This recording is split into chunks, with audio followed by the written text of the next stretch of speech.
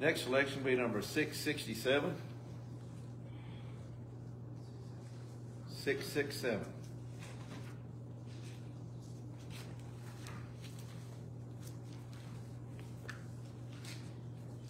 There is power in the blood.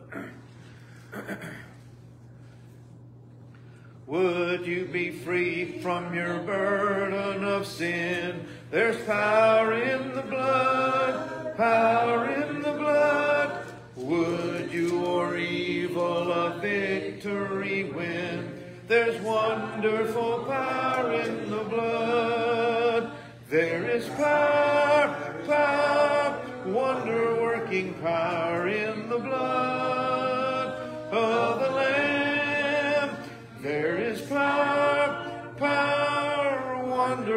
working power in the precious blood of the Lamb.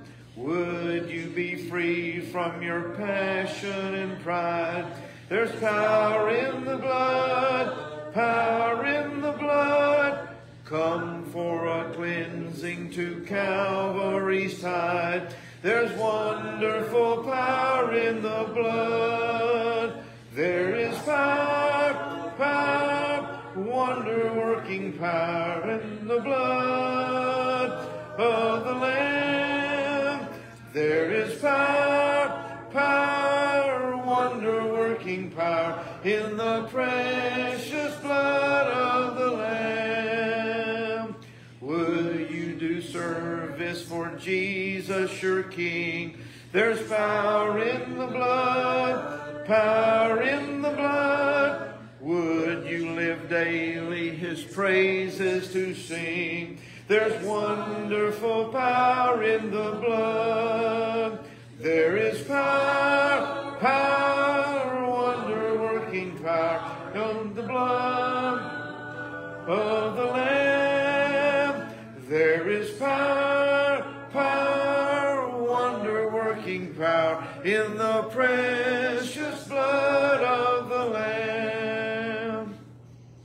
Next selection will be number 694. 694.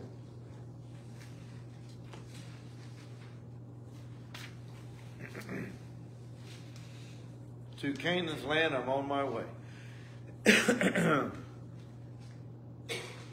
to Canaan's land, I'm on my way, where the soul never dies. My darkest night will turn to day, where the soul never dies. No sad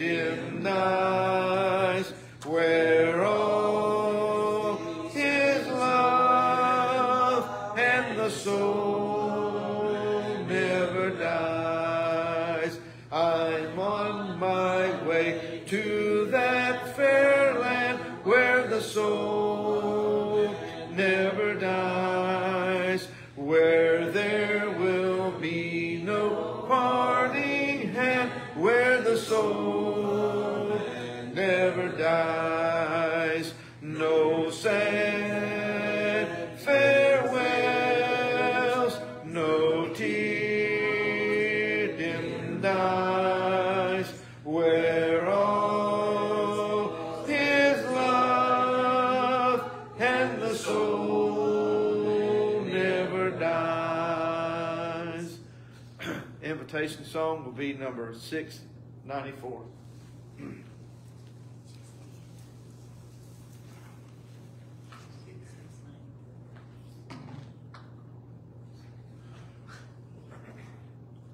The Civil War in this country must have been a mo- most horrifying thing to see and visit the battlefield, seeing those things happening and realizing so many people, even some on the north, some on the south, were related to one another, and the horrible way in which they took one another's lives. It's a horrible reason that it occurred, but it did. It ended April 9th of 1865, and three years later, a day was set aside that would be called Memorial Day or Decoration Day to remember the dead soldiers on from the north and from the south. And so tomorrow is Memorial Day in this country to remember those who died in battle.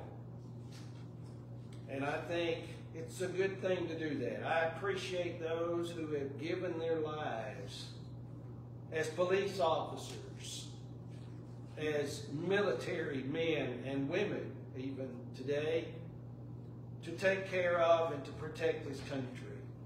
It's good to remember that. It's good to appreciate things people do on behalf of other people.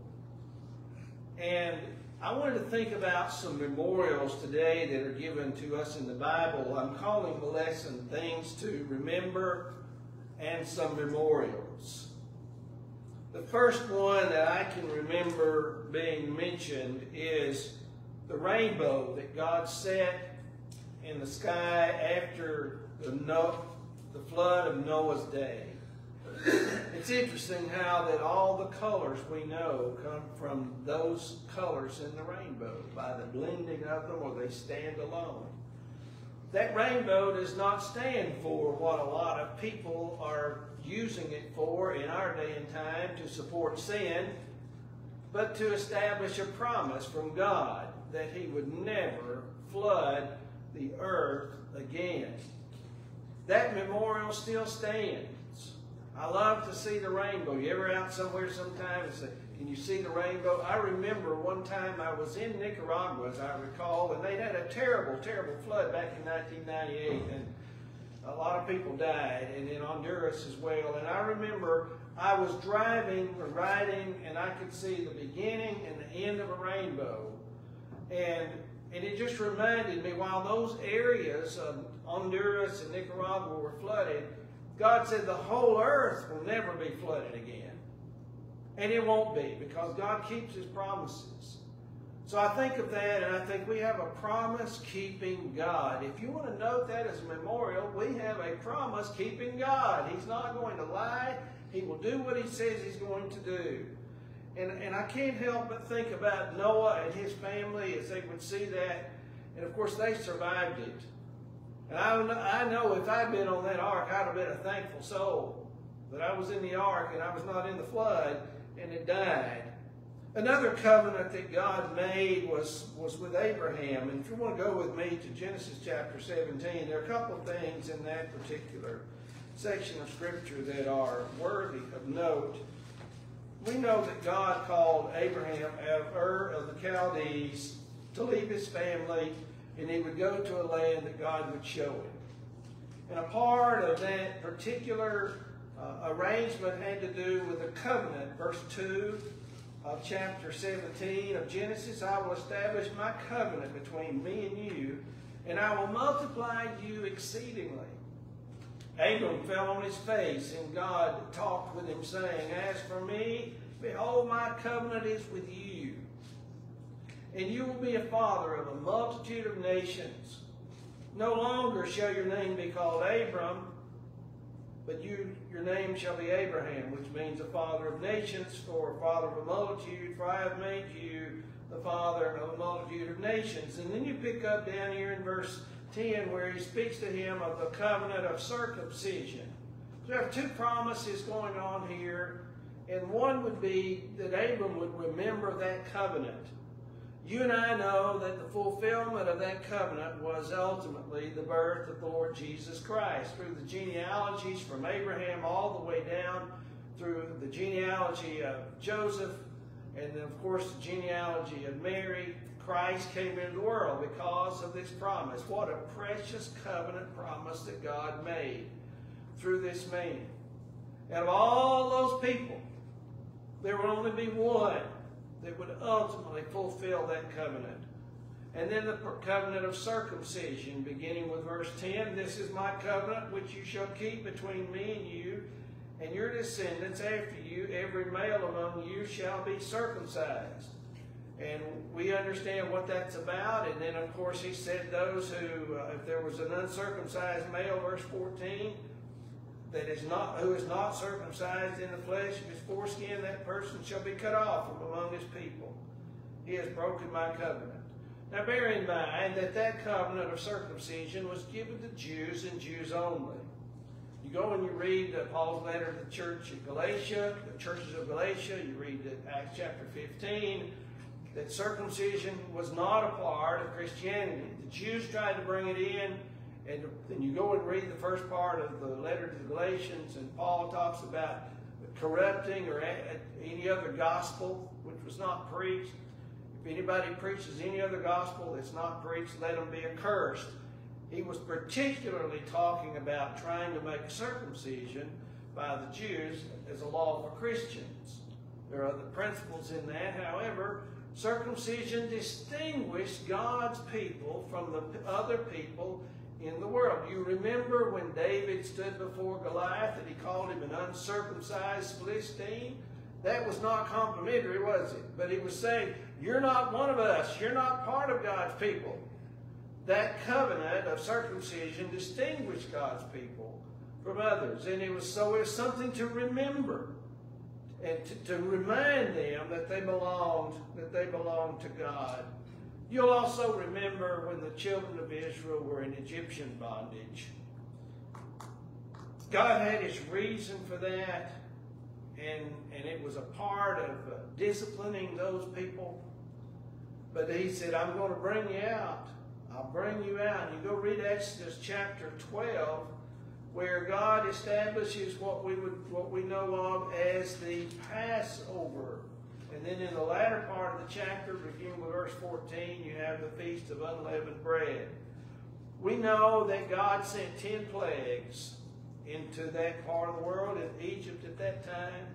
And he had told the children of Israel they were to take a lamb, they were to kill the lamb and take the blood and with hyssop and put it on the lintels over the door and on the doorpost. And then that night, their children would be protected, their firstborn would be protected from death. We also know that the firstborn of the children of Israel were protected from death. The firstborn of the Egyptians all died, including the firstborn of their animals. They were to, the children of Israel were to keep that Passover until, and of course, forever for them as a nation, as a reminder that God protected them from death and that He brought them out of the land of Egypt. I think it would have been a very wonderful experience to go back in time and be with the children of Israel as they would actually carry out this Passover and to see it in person. I know the scriptures give us explanations as to how it was done, but it's kind of like the difference in reading the book and watching the movie, as it were. I think it would be interesting and to interesting to hear them talk. Said yes, talking to a son. Said son, this this is a reminder that God brought us out of Egypt. that He protected us, and that's why we're alive today. And, and, and He wants us to remember this, and they did it one time every year as a part of their, of their celebration for, for being delivered. It was to be done on the 15th day of the month of Nisan, or Nisan, however they would pronounce that, corresponding to our months of March, or April. And of course, it was just uh, about, about right at the time when also when our Lord Jesus died. He died at the Passover. He became the Passover lamb, slain from before the foundation of the world. The Revelation writer would tell us. We'll come back to that in just a moment. In the Bible, there are types and there are antitypes. The antitype is always greater than the type. The type here, the Passover lamb, and then the antitype was Jesus, who is represented figuratively as a lamb, and his blood paid the price for sin. The animal sacrifices could not do that. And we'll come around to that also in a moment. But it was a type, the Passover was a type of the death of Christ and also a type of what we know of as the Lord's Supper. The children of Israel were also given the Sabbath as a day to remember. And, and it's very interesting how people today view the Sabbath. In Exodus 20, verse 7, God, in, in that list of what we call the Decalogue, said, Remember the Sabbath to keep it holy. God had Sabbath laws for the children of Israel to follow. They could not, they were not supposed to work and to do farming and things like that on the Sabbath. It was a day of rest for them, a day for them to, to remember that God had delivered them. Somebody says, now, now I thought that the Sabbath was a reminder that God rested on the seventh day.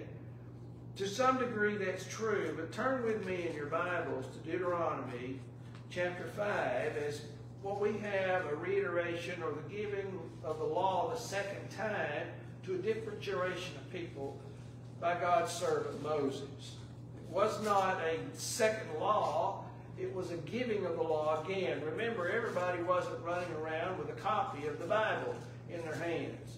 These, these laws were written down, but not everybody had their own copies. They had to rely on the, the priests and others to read them to them.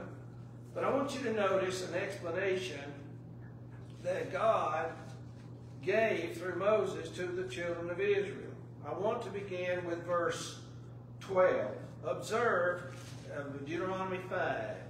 Observe the Sabbath day to keep it holy, as your Lord God commanded you. Six days you shall labor and do all your work, but the seventh day is the Sabbath of the Lord your God. In it you shall not do any work. You, nor your son, your daughter, or your male servant, or your female servant, or your ox, your donkey, or any of your cattle or your sojourner who stays with you, so that your male servant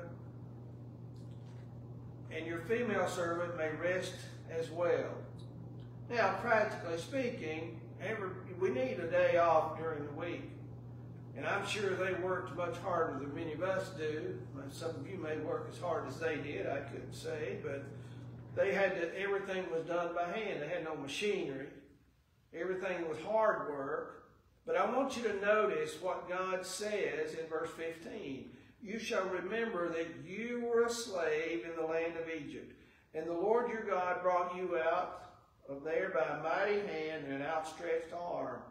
Therefore, the Lord your God commanded you to observe the Sabbath day. So there were two basic features of the Sabbath. One was a day of rest, so they could recoup their energy. The other was to remember that God delivered them from Egypt. It's also interesting that the Sabbath day was never given to anybody except the Hebrew people. They weren't called Jews until the, the, the southern kingdom was established, and of course they became Judah. Then they began to be called Jews. Prior to that, they were called Hebrews or the children of Israel. We don't celebrate the Sabbath. There's nothing in Christianity about the Sabbath. The Sabbath was never given to a Gentile. It's not a part of Christianity. And Paul makes it very clear that, that of course we know that the early church was, was made up of, first in the first place, by Jewish people who converted to Christianity, become Christians. And naturally, they didn't just want to bring circumcision into the church, they also wanted to maintain some of their other things. Now, let me make this clear. For a Jewish person to keep the Sabbath would not have been wrong. But to insist that it be done because the, it was for everybody, that's, that would have been the problem. There were some of the things that the Jews could continue to celebrate in some ways, and yet not force that on others. Certainly they would want to remember that as a people, that God delivered them from the Egyptians. But the Sabbath day is no longer a holy day. And I want you to notice in Colossians chapter 2, beginning with verse 16, Paul tells the Christians in Colossae, therefore no one is to act as your judge in regard to food or drink or in respect to a festival or a new moon or a Sabbath day. In other words, you Gentiles, the, the Jews can't judge you on keeping these things. Notice what he says, and here you have different wording, but you go back to the idea of a type and an antitype. Moses was a type of Christ. He was a preacher, he was a deliverer, and, and so, but he wasn't Jesus, and he certainly wasn't as great. And, and, and that Solomon was a type of Christ, and that Solomon was wisdom. But Jesus at one point said, a greater than Solomon is here. The antitype's always greater. Now, notice verse 17 things which are a mere shadow of what is to come, but the substance belongs to Christ. And so the keeping of the Sabbath was never brought into Christianity. While the Jews might maintain some of those things to remember, God brought our people out. I think if I were Jewish today, I would kind of celebrate that to some degree if I had that heritage. But it's not what I do as a Christian and it certainly could not be imposed on the Gentiles. And there's no such thing in Scripture as in Sunday being called a Christian Sabbath. That is secular terminology. It's not biblical terminology. The Lord's Day is the day that Jesus came forth from the grave. And you read that in the conclusion of the gospel records in Revelation chapter 1. John said he was in the Spirit on the Lord's Day, obviously talking about Sunday we take up the collection on the first day of the week, according to 1 Corinthians 16, verses 1 and 2. And then Acts chapter 20 and verse 7, we read how the church where Paul was meeting with them in Miletus, that they were, they came together on the first day of the week to break bread. There's no mention in the New Testament about the early church honoring the Sabbath as God's people but the first day of the week. And that's a wonderful thing to think about. Can you think of anything greater that's important to you and to me other than Jesus paying the price for sin than Jesus coming out of that grave alive? Some of us probably have thought about death, especially if you get a grave illness, you think very seriously about it and you think, well, you know, and, and everybody's probably at least a little bit afraid of it. Even though you may be a strong, faithful Christian, you're probably a little bit, I know I'd be a little bit afraid of it because I've never experienced it. And I know that once you die, you don't come back except resurrection's been promised. Jesus came out of the grave alive. That was a key point that the Apostle Peter made in Acts chapter 2 that he's sitting at God's right hand, that he was alive. Now, what do we remember as God's people? We can remember the rainbow because that's a promise from God for all people from Genesis 9, uh, or, or that time of Noah, and, and, until Jesus comes again. None of those other covenants have anything to do with us. And there was one that I passed over Either that or I'm not following my notes. In, in Numbers chapter 15, verses 38 through 40, if you want to note that, that the children of Israel were to, the, the men were to put tassels on the hems of their garments. And notice, beginning with verse 38 of Numbers 15, make that they were to make for themselves tassels on the corners of their garments throughout their generations, and that they shall not, I'm sorry, they shall put on the tassel of each corner a cord of blue. It shall be a tassel for you to look at and remember all the commandments of the Lord. Why did you need those tassels? It wasn't necessarily decoration, but a reminder, something to remind them when they go into the land of Egypt, not only were they circumcised, as an identification of God's people, if they were to put these, these men put tassels on the corners of their garments to let other people know. No, first of all, to let them know to keep God's commandments. Every time they looked at that tassel, they would be reminded we're supposed to be doing what God said. And of course, it also separated them from the other people. But he says, This it shall be a tassel for you to look at and remember all the commandments of the Lord so as to do them and not follow after your own heart and your own eyes, after which you played the harlot, so that you may remember all my commandments and be holy to your God. They were to remember God as they went into the land of Canaan keeping their commandments. Also, in Deuteronomy chapter 8, verses 1 and following, that God reminds them to keep all of God's commandments. And all the commandments that I'm commanding you today shall be, you shall be careful to do, that you may live and multiply, and go in and possess the land which the Lord your God swore to give to your forefathers. You remember how that was promised earlier, even to Abraham. You shall remember all the way which the Lord your God has led you in the wilderness these 40 years, that he might humble you, testing you to know what was in your heart, whether you would keep his commandments or not. In other words, when you go into the land of Canaan, you need to remember by being circumcised, have the tassels on your garments, and you remember what I did for you. I, we, I brought you out of the land of Canaan. There is no way, as to use a figure of speech, one of my uh, brothers who's passed on now, he said, there's no way under the shining canopy of God they could have gotten themselves out of Egypt alone. God had to do it. And so when they went into the land of Canaan, you need to remember who your God is, who brought you out. It's good to remember God, amen? It's necessary to remember God because the world's not going to remind you of God for the most part.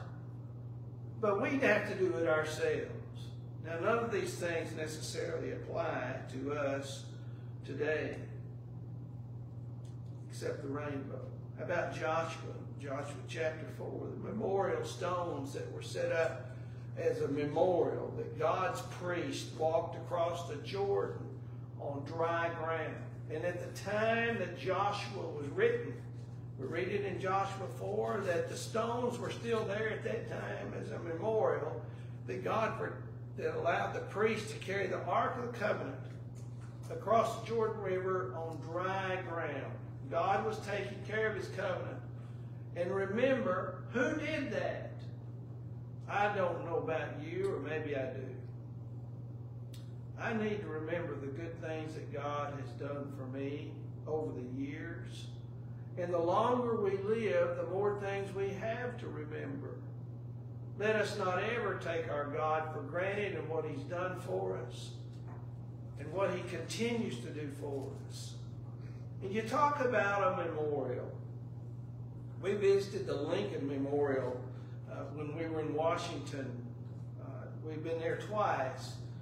And, and I think of the people in this nation that, that deserve to be memorialized who've done things to help people, to, to try to help people out of difficult situations. You may not necessarily agree with all of the things that, that they believed in, but their overall cause, like Martin Luther King, he had a purpose to help the black people.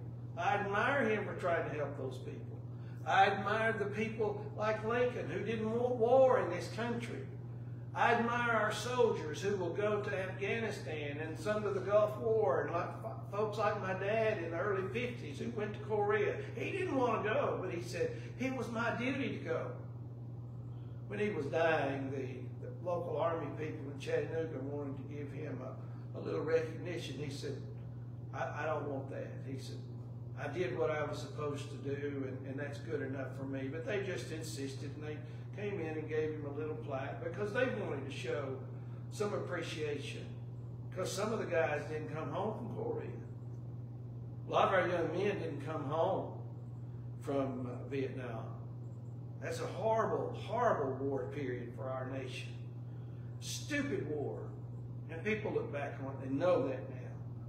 But you got to admire those who, who, who went through it and, and, stood up for what they thought at least was right to, to that degree.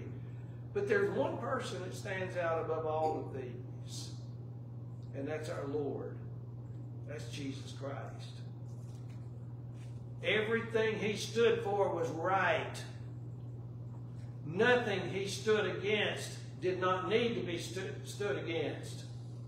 Jesus was God in the flesh. He comes to this earth to help you and me survive the, not only the harsh, foolish results of sin, but the penalty of it, which is condemnation by God to come here and take away the guilt of sin so that when we hear the gospel and we believe it and we repent and we confess Christ and we're baptized for the remission of our sins and we're forgiven, Jesus made that possible.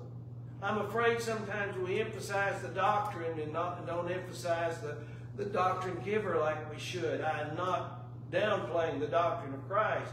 But at the same time, it's Jesus that made it possible for there to even be a teaching for you to get out of this. How many of you are better off than you were a few years ago because you're living for the Lord?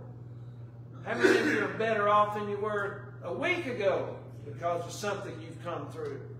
Jesus made it possible, but the ultimate thing when he died was his sacrifice on Calvary's cross. And the Apostle Paul will tell us in 1 Corinthians 11, verse 26, we remember his death until he comes.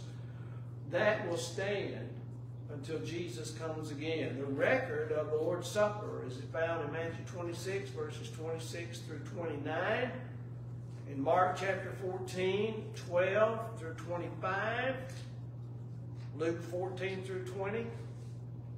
Again, Matthew 26, 26 through 29, Mark 14, 12 through 25, Luke 14 through 20, Luke 14, 22, 14 through 20. I left part of it out. And then it's kind of happens in John 13, but the emphasis in John 13 is about the Lord serving after the supper. The discussion in John chapter 6 is not about the Lord's Supper. It's about Jesus preaching to Jews to accept his death they were going to have a hard time with that. Unless you eat my flesh and drink my blood, you have no life in you. You're going to have to accept me, or you don't have any life. But what about those who have accepted Christ? Who have made him their Lord and made him their Savior, confess his precious name like he's commanded us to do in, in Matthew 20, 28, Matthew 23, and, and how that the eunuch did that, reading from Isaiah the prophet, the 53rd chapter of Isaiah. And when Philip got to a certain point, he said, well, what, what hinders me from being baptized? And, and Philip said, well, if you believe with all your heart, you may. He said, I believe Jesus Christ is the Son of God. And Philip and the eunuch went down in the water, and he baptized him. Now, what did that eunuch do?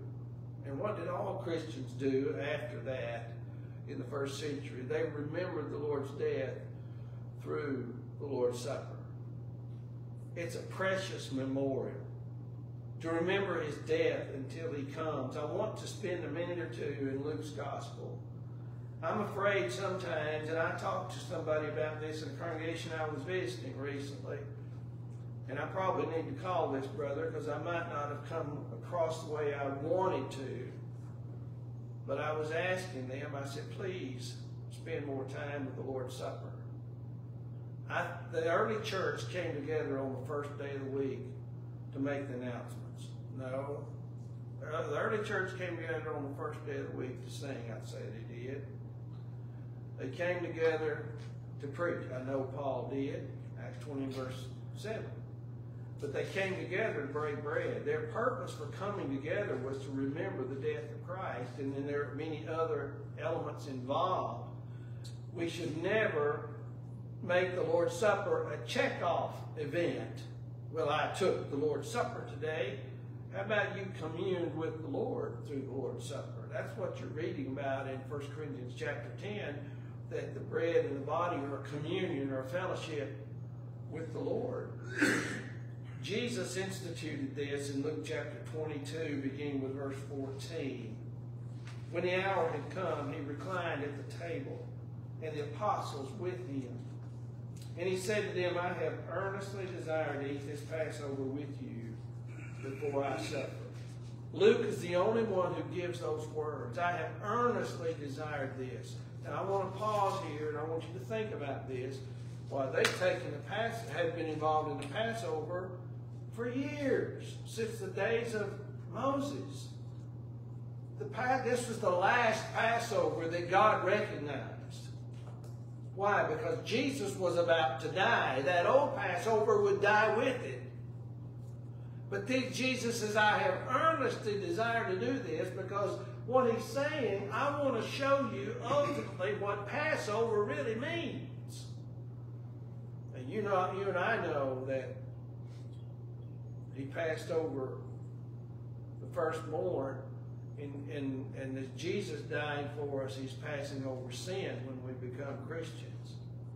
It's one thing to die physically, it's another thing to die spiritually. He said to them, I have earnestly desired to eat this Passover with you before I suffer. Look at the timing. For I say to you, I shall never eat of it again until it is fulfilled in the kingdom of God. That would have happened on the day of Pentecost. Listen, Jesus is at the right hand of God, but he's also with us when we participate and we commune with him through the Lord's Supper. He knows he died. He knows what happened. He's not dying again. But he knows that we're remembering what he did for us. And spiritually speaking, he's right here with us when we do that. And when he had taken a cup and given thanks, he said, Take this and share it among yourselves. In Mark's account, says he was given a cup. Nonetheless, for I say to you, I will not drink of the fruit of the vine from now on until the kingdom of God comes. And when he had taken some bread, this is the unleavened bread, from the Passover and given thanks, he broke it and gave it to them, saying, This is my body, which is given for you. Do this in remembrance of me. The Bible uses figures of speech, and, and a simile is something that's similar. It's like something. A metaphor is stronger than a simile. A metaphor is like, this is my marriage. That means that says I'm married. That's not really my marriage, but it's such a strong symbol. It says I'm married, doesn't it? That fruit, that bread is such a strong symbol. It's not literally the body of Christ, but Jesus uses a metaphor and said, This is my body. He wants us to remember his body. Oh, how he suffered on that cross needlessly as far as some people go. He didn't have to, but then it was a part of the commandment of God that he do that. I want you to remember what I did for you. And I'm going to use a little bit of bad English. That ain't nothing. that, that coming out of Egypt ain't nothing compared to what he did for us on the cross, to emphasize it. It doesn't even come close. That deliverance doesn't even come close to the deliverance that we have from sin because Jesus died in his blood, which was shed for many, Matthew says in verse 28 of Matthew 26, for the remission of sins. This blood, this cup, it's not the cup, but the cup represents, the contents represent something. This cup represents something. There's your metaphor again. This cup is the new covenant. It's not the old covenant. It's the new covenant. What's in that new covenant that wasn't in that old covenant? The remission of sins. How can a person live a wicked, sinful life all week and sit down and drink the cup of the Lord as if they have not done so. Now let me qualify that. We none of us is worthy of it, but we need to be living in such a way that we're trying to be what God wants us to.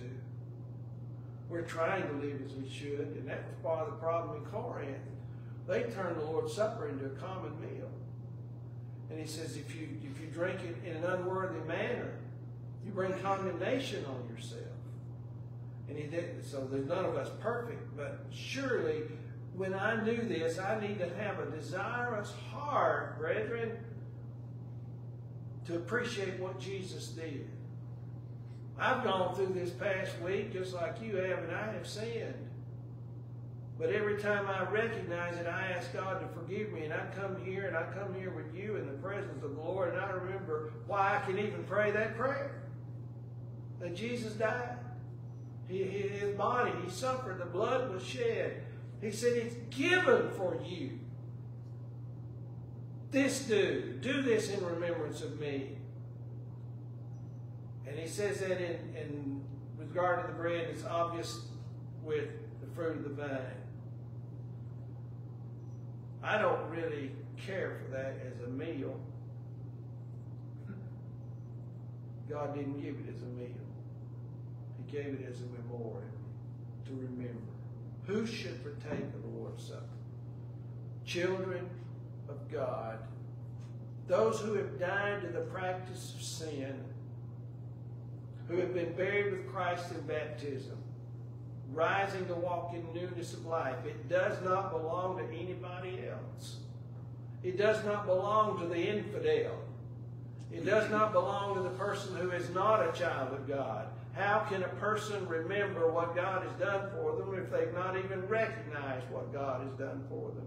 But when I do, what a precious moment that is. How precious it ought to be. I don't know that we need to spend 30 minutes on it, but I wouldn't get mad if somebody did to think about it. That's why we're even here. Because Jesus died, was buried, and was rose again. This first day of the week belongs to Him. Let us remember Him in a moment through the Lord's Supper. And remember, Jesus did this as an innocent, loving lamb who laid his life down that he might take it again. He would say in John 10, and he said, I can do this. The Father gave me the right to do this. I'm paraphrasing, and he says, the Father gave me the power to lay it down. In other words, I didn't have to do it. But precious people, he did. And I'm so thankful he did. Let's remember him this morning. You need to respond to the invitation, please come as we stand and sing. Correction song number number seven sixty three. Why keep Jesus waiting? Number seven sixty three. Why keep Jesus waiting, waiting in the cold?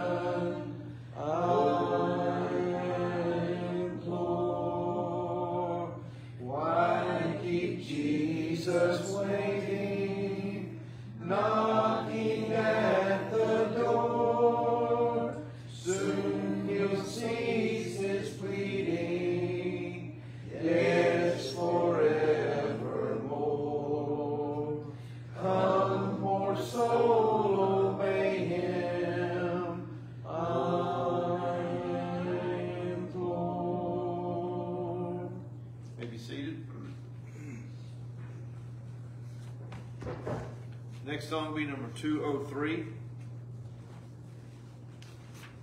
Number two oh three. Hallelujah, what a Savior.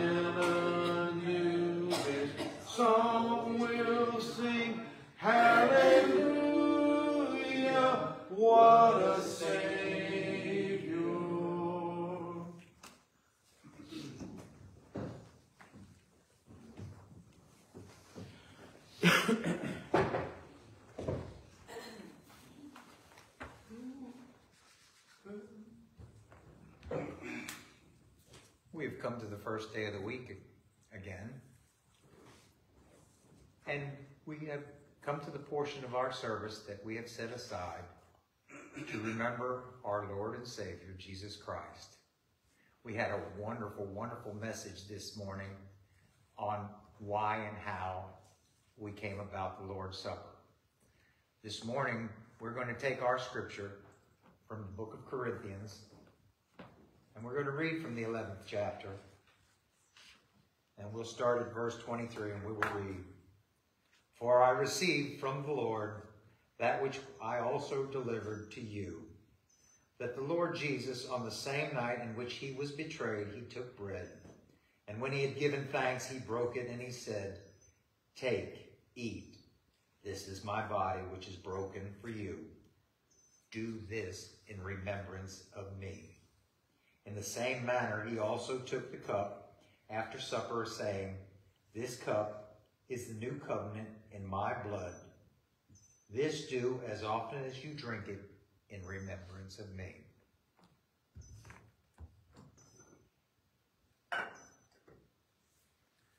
We will ask Brother Tony to say a blessing to the bread. Bow with me. Dear Lord, we are so thankful to be here this morning to be able to commune with the Lord and think about what He did for us. We, we're thankful for the message, dear God, as where our hearts and our minds are on Jesus at this time. Help us, Heavenly Father, to remember when we partake of this bread, the, the sacrifice that He made on our behalf. It should have been us, and we're so thankful for that. We praise in Christ's name.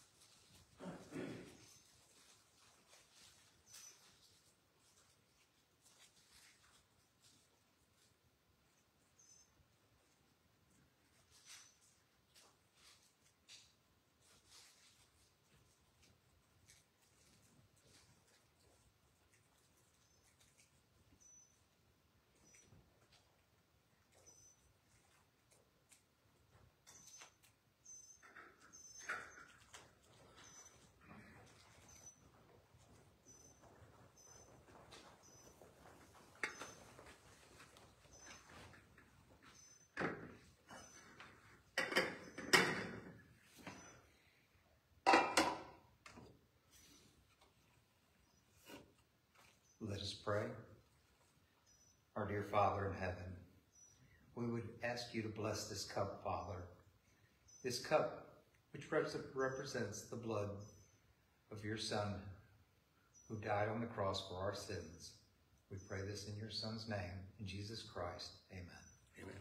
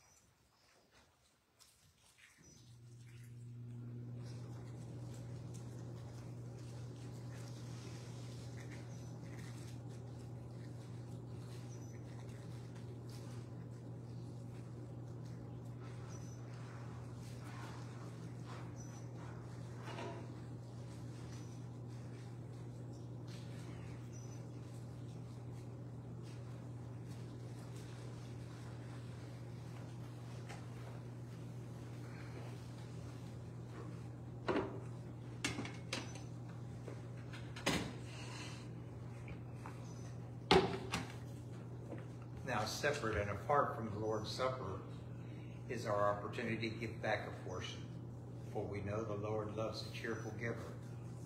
This morning, our scripture for our, the collection for the saints will be taken from the book of Corinthians, in the 16th chapter, and we'll start reading at verse one, number 1.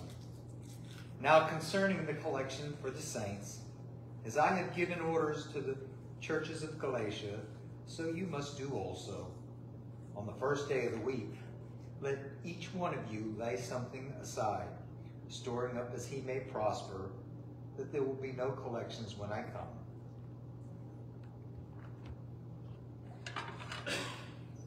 Let us pray. Our dear Father in heaven, we would ask you to bless this offering, Father. We pray that we use these funds in accordance with your will further your kingdom here on earth, Father.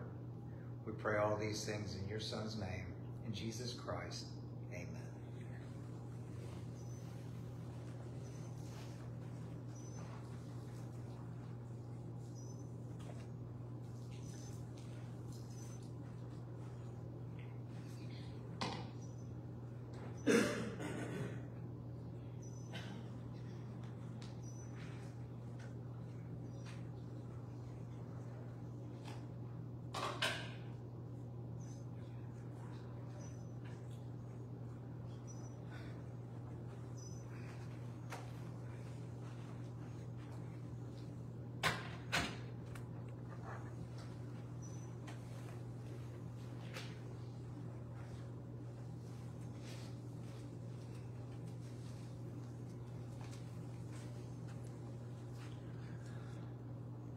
Wonderful service we've had this morning. I know I've can take what I've learned here today and think about it through the week. Uh, we also got another announcement. There's a, a prayer request for uh, Perry Webb, uh, Sammy's son. He's having carpal tunnel surgery on his right wrist on the 6-1 uh, uh, a few weeks later on the, the left wrist. So he's going to have two two uh, operations, one on each wrist. So let's keep him in our prayers.